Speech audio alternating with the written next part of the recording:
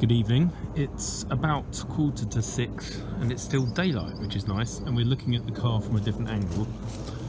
Um, reason being, I'm changing my focus. The front is really waiting for the windscreen to go in. And although I could be bolting other bits together, I'll leave that until it's either pissing down with rain or dark.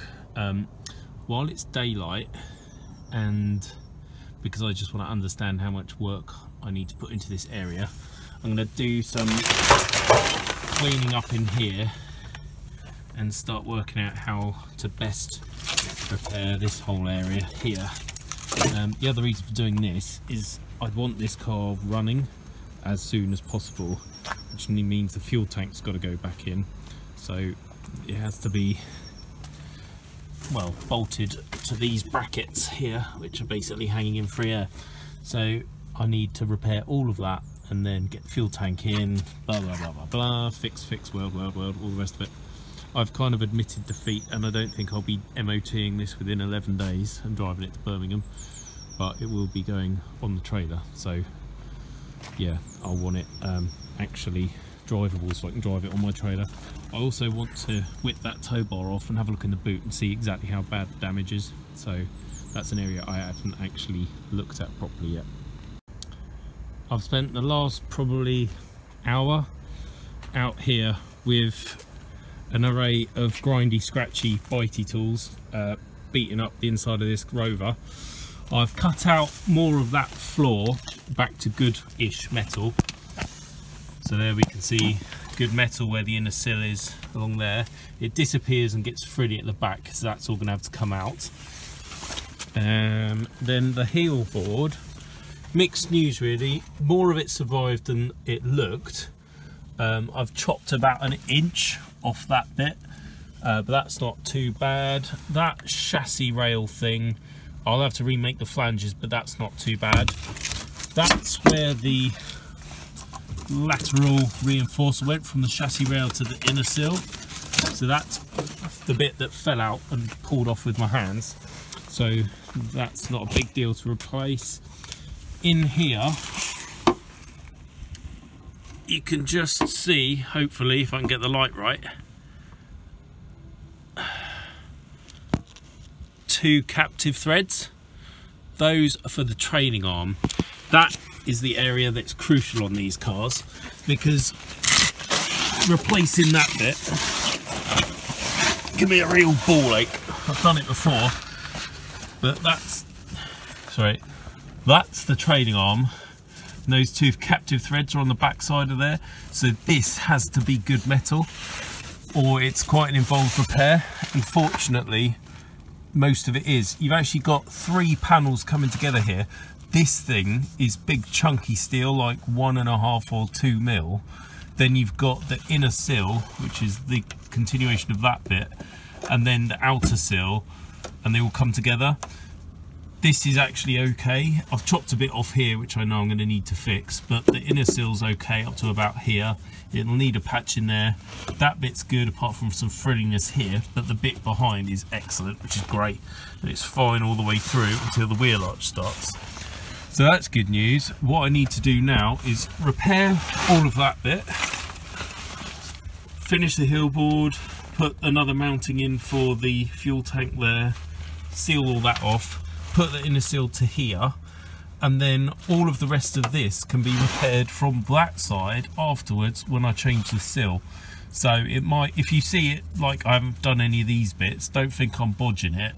I'm not it's just that it's easier to do from that side afterwards. So I'm going to get my impact gun and see if I can shift these now. I don't want to undo them all the way because obviously they are holding the axle in which is what's holding the car up. So if I undid them now, the whole lot would shift forward and fall off the axle stands, and that would be bad. So I've lubed up them from the other side with WD. I'm going to get, a hammer and beat on a six-sided here, and then use the impact gun to try and undo them one at a time. Uh, so when one is undone, I put the other one back in, etc, etc, so it can't all fall over. That worked better than expected got both of them out. I put that one back in, obviously, because I didn't want it all falling on me. That one's stuck in the socket, but they're quite interesting well, not interesting, but different bolts.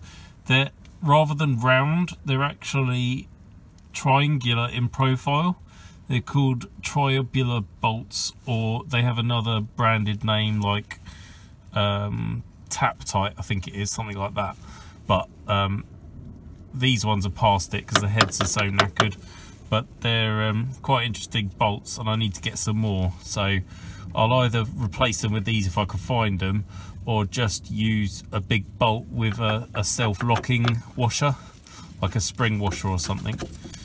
But yeah, I think I'm gonna um, call it a day now because I'm a bit cold and it's about, I don't know, half seven maybe.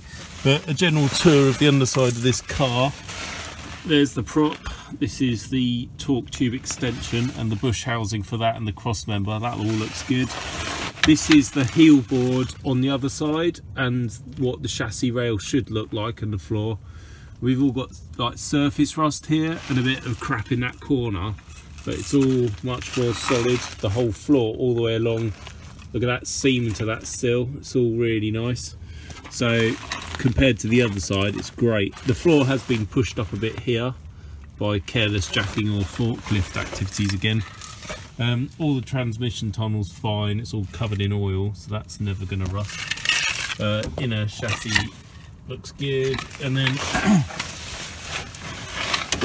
that's where the fuel tank goes, that's the fuel tank hanger bracket, rear axle, and then we come to the boot floor. It isn't as bad as I first thought. The tow bar, although it, the floor is deformed, it hasn't actually rusted as far as I can see. Um, we have a big hole here and some frilliness along there, so all of that will need, need to be chopped out. But what's good is that where the Watts linkage goes, up here, all the way across to another mounting on that side, over there, most of that looks good. Might be something here. Yeah, the actual Watts linkage mountings are good. Towing eye brackets gone as they most do most of the time but um, it's no big deal. The other good news is that the cups these bits between the trailing arm and the axle are still there. They rust out a lot of time and drop off so you lose um, stability on the rear axle. This is all good. I have got brand new trailing arms poly bushes and um, trading on forks. So they'll be going on and all this stuff will go in the bin or maybe maybe those will be refurbed I don't know